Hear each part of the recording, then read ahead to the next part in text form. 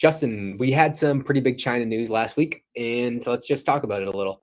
So, basically, these Chinese companies or these uh, some Chinese banks were selling bonds, and now your average Joe is thinking, "Oh yeah, they're selling bonds.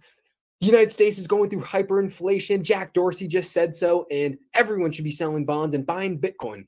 And yes, maybe, but that is not why these entities are selling bonds. I would say we because there's a ton of dollar denominated debt outside of the United States and in the euro dollar system that is completely outside the track of the Fed or M2 money supply. And I would say many, many times more than than the dollars that we can actually quantify.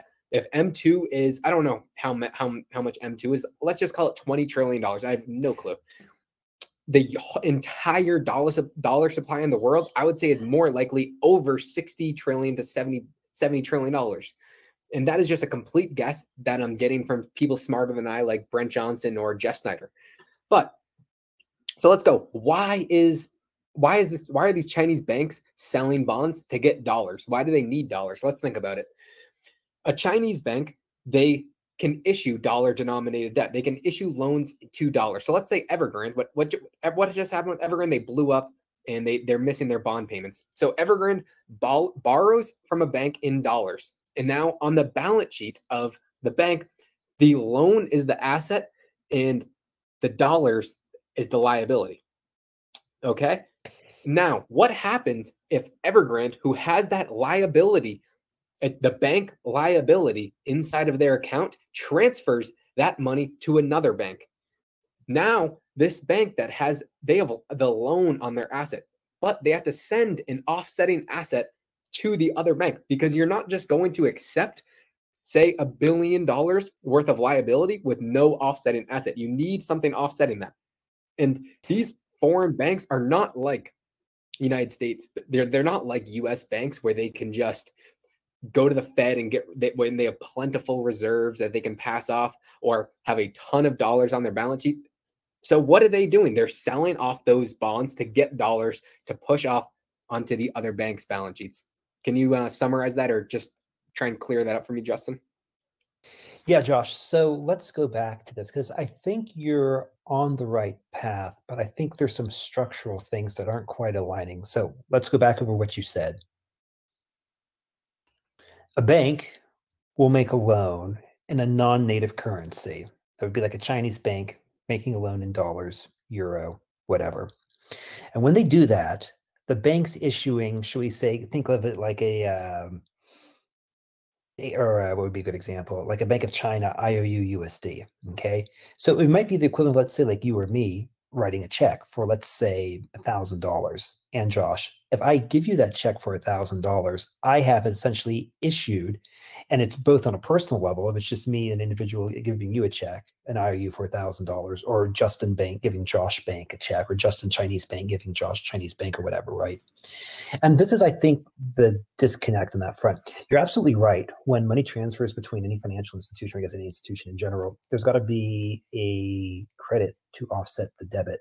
But at the same time, if the asset that is transferred transferred itself is just the IOU and the IOU is never redeemed, you can kind of create an infinite float within the system. Eh, that's exactly what the Ghost Ledger is. And that's kind of how the system worked prior to 2008 because what happened when there were no reserves on any balance sheets? These these entities were not setting off a one-to-one ratio. Yeah. They were just saying, "Oh, hey Justin, I have a billion dollars worth of liabilities. You take that, great." And I'm I'm I'm good for it. And Justin said, "Oh yeah, you know what? You are good for it. I trust you. You're a trustworthy individual. I will take that. I'll take you up on that. Here, just oh, you and, you and, owe me a billion dollars." And one really important thing, Justin might then turn around to Susie Smith or Patty Jane or mm-hmm. whatever and say, "Oh, hey, listen, here's something I need to send to you. This is IOU from Josh, but Josh is good for it. You think Josh is good for it, so bam, here's the Josh note." So the point is, yeah. your IOU that you originally issue ripples throughout this, just as mine will ripple throughout the system because banks trust each other. There's no contagion. Yes, but what happened with Evergrande? These Chinese, like, we're seeing a lot more risk in China. So if you were a Chinese bank, would you be saying, all right, Justin, I know we've been doing this for so long, and I know we normally just pass off these liabilities, and that's fine. But right now, hey, Evergrande's blowing up. I don't know who's good for it. I know you're good for it, but just prove me, prove to me that you're good for it. Uh, yeah. So just just pass off pass off the offsetting asset with the liability, and then so I'm like, yeah. fuck, I don't I don't have it. So what do I do? I have to sell off my my my bonds to get those dollars to pass off. Right. So the, the, two things. So that would be like the equivalent of, let's say, like it's you, me, and like six other or like a hundred other random people. It would be the equivalent of all of us writing checks to each other, but never cashing each other's checks and then trading each other's checks amongst ourselves while issuing new checks abroad, uh, abroad.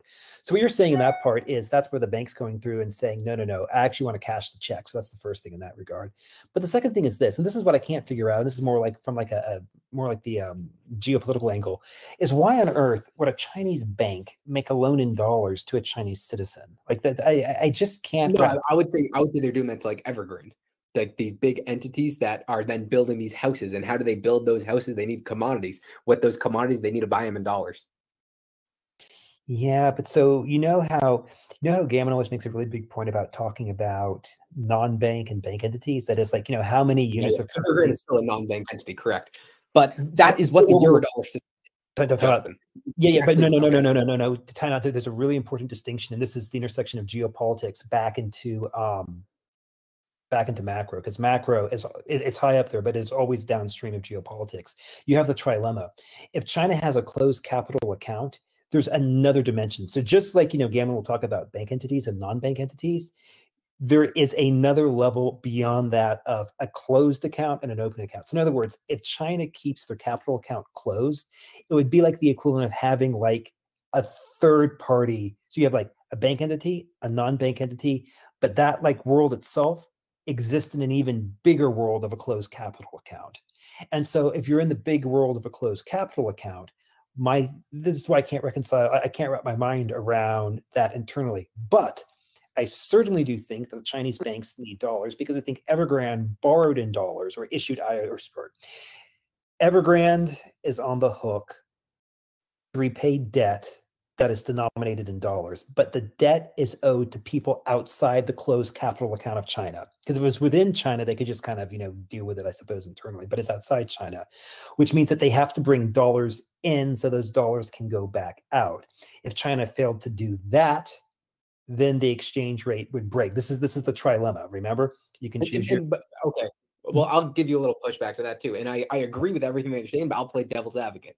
So right now, Chinese exports are at all time highs. And what I mean, uh, what it, when Chinese exports goods, what do they get back? They get dollars. So their their dollar reserves are at an all time high right now. But that's that that I, I believe. Yeah. Are there? I, this is where I get a little fuzzy. When they're exporting all these dollars and all these, I mean, when they're exporting all these goods and all these dollars are coming in are these bank liabilities or bank assets?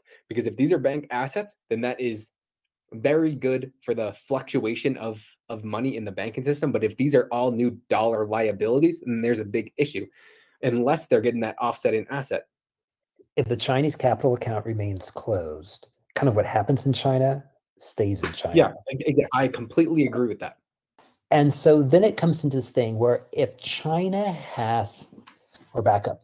If China has corporations, high profile corporations like Evergrande, and Evergrande owes someone else outside of China something else besides renminbi, so let's say dollars, somehow Evergrande has to get their hands on dollars or they're going to default or they have to give some other form of payment. But if people only want dollars, and I presume such people would only want dollars, particularly from Evergrande or Evergrande's um, ilk, you've got a problem. And as far as Chinese exports, true, that might be the case, but remember, and like, I don't know how to handicap this, but this is a dimension you need to be aware of. Number one, China just flat out lies on the numbers. They will, they kind of start, I suspect, but I don't know how to prove this. They kind of start with saying what we want the numbers to be, and they kind of back into that. And secondly, I would say look outside, you know, the various ports and look at the various shipping, you know, backups within the rule within the world. Yeah, they might be exporting at record rates, but they're exporting to you know cargo ships that are moored off, you know, backed up ports, you know, across the world. So I I think this is where it gets back into a paper tiger. Like I would not. Oh, I, I, I don't know how to handicap it, Josh, but I, I would be very suspicious. if someone said China is exporting record amounts, I'd just be suspicious of that. The other thing I'd be very suspicious of is that China had a way to otherwise source dollars. I think China's much, much weaker when it comes to dollars than they than otherwise being let on. Back in the day, when I say back in the day, that is before COVID, they would use Hong Kong as kind of a way to uh, bring in a foreign currency to do that. But um, that's again, as I poorly understand it, that's also been um, shuttered. Anyways, again, Josh, here, here's what it boils down to. If the facts are presented are accurate, I agree with your thesis, or eh, your thesis makes logical sense to me. But I think there's this extra. Well, then, well what else? Why else would they be selling bonds? Because it is not. Oh, they need the dollars. They, they need yes, the dollars. Yes. And why do they need the dollars? They need the dollars because, for whatever odd reason, they've at least in the case of Evergrande, they've decided that Evergrande will continue to uh, honor. And when I say Evergrande, I maybe, maybe put it like this: they have decided that large China multinational, I didn't even want large Chinese companies will honor for the time being their foreign obligation. But here's the thing, right? If China has record exports and therefore has record dollar inflows, why are they selling bonds? They already have the dollars, do they not? Well, I would, I, I that's why I think it's a banking system issue. Well, hold on, because the thing is like, yeah, but like the thing is like you, you you can't use the same framework that you would use like for the rest of the world within China. Like you you have to. Well, yeah, I, I would say you can when, when China intertwined with the rest of the world. If China is is if their if their banks are communicating with 50 banks outside of the outside of China, then they have to play by the rules that everyone else agrees upon. They might, but that would be only for outside the system. Within, see, here's the thing, right? If if Evergrande took out debt that was within China, and maybe maybe we're kind of saying the same thing. If Evergrande took out debt that was owed to Chinese citizenry, it would be. I, I strongly think it would be denominated in, in renminbi. Yes, yes. but it but it there they do uh, there is dollar denominated debt, and but but not owed. But, but but the thing is, people who own it aren't Chinese citizens. The people who own it exist outside the Chinese system. That's the key thing. I would think. Yeah, it's right. uh, it's um it's tricky, and I'm I'm not I don't know the answer because this is not a question that has a definite answer. This is just speculation upon why these Chinese banks are selling bonds. I think it was a few billion worth, not a ridiculous amount, but they're still selling bonds and getting dollars. Yeah, no, I definitely they, they need dollars, so they're selling bonds. But here's the thing, right? If someone is also going to say Chinese are having record dollar inflows because of record exports. My attitude, it's like, you know, we were talking about, you know, a few weeks ago with Bank of America, right? Banks have too much cash, yet banks are selling bonds to raise cash. Wait a minute, something's not adding up here. Like what's going on? Either they have or they do not have enough cash. Yeah.